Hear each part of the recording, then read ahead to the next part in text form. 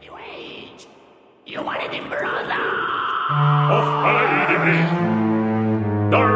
with her body, working on her souls and freedom.